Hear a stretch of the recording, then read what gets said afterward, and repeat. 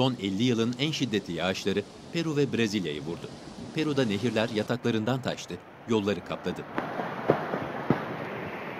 Su önüne çıkan büyük kamyonları bile zorladı. Bazı sürücülerin gözü karalığıysa görenleri hayrete düşürdü. Perulu şoför yolcularıyla birlikte azgın suya meydan okudu. Büyük şansla suyu açtı. Başka bir cesur şoför arkasından onu izledi. Büyük bir şansla minibüs de zorlu yolu aşmayı başardı.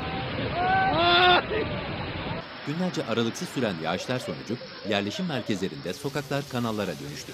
Suyun debisi buralarda bile çok yüksekti.